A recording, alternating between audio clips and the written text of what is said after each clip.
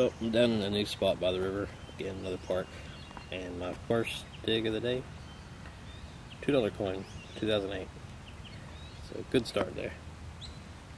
Just after I turned the camera off on that last two dollar coin, I got stung on the back of the leg by a bulldog ant or something like that, bull ant.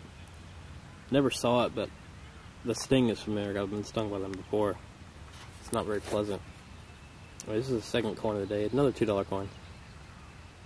Two coins, four dollars. That's pretty good, I guess. Looking for pre-decimals, really, but hey, I'll take it. Alright, next find was another two cent brown bugger. 1971, I think it said. I don't mind finding these. Something different for me. I wasn't living in Australia when these things were in circulation, so something different.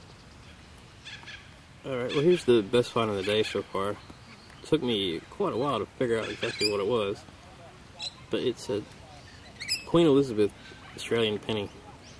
Might be 1960 maybe, it's very hard to read. Anyway, I think that's my first Lizzie penny. I've just come across this huge dead fish. I don't know what this is, but it's pretty big.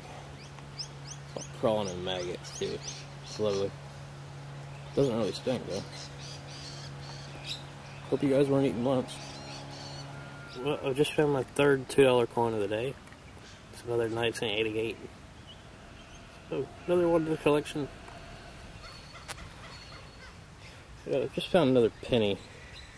It's in such bad shape I can't even tell. Let's see what the date is. 1948 maybe. That's my best guess. It's in bad shape. I took a good nick out of it there that I, I like finding pennies. They're good finds. That's why they always tell you to check your holes. There's uh, there's another penny in there. Just because you pulled one target out doesn't mean you got them all. Another good find. Don't know the date on that yet though. Again, always check your holes. This 10 cent coin was in there with the pennies. That's three out of one hole.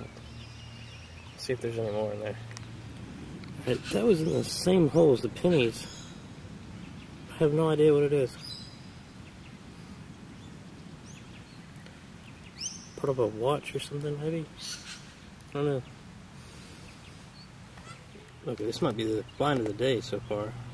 It looks like an old Commonwealth penny, but it's in really, really bad shape. I'll be lucky if I can get a date off that later. But yeah, it's a nice little find. Um, if you're new to metal detecting, try detecting by trees.